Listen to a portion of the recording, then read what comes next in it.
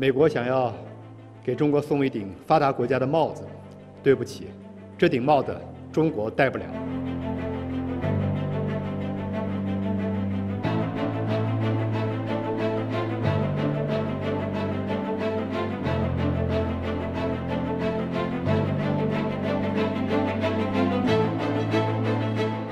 中国是一个发展中国家，有着充分的事实依据。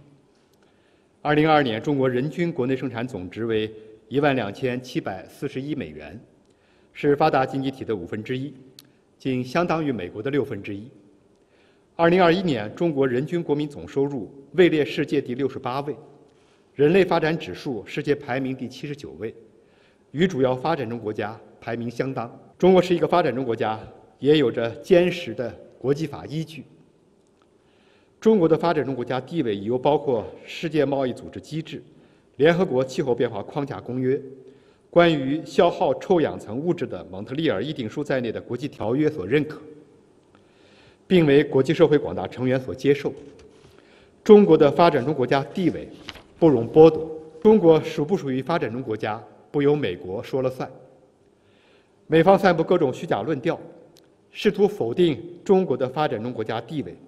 其真实意图无外乎是打压、遏制中国发展空间，让中国背包袱、扛责任，挑拨中国与发展中国家友好关系，干扰、迟滞发展中国家群体性崛起的势头。但中国和广大发展中国家不会上美国的当，中方将坚定维护自身发展中国家地位。大力深化同发展中国家团结合作，坚定不离不移致力于提高发展中国家在国际治理体系中的代表性和发言权，坚定捍卫发展中国家的正当合法权益。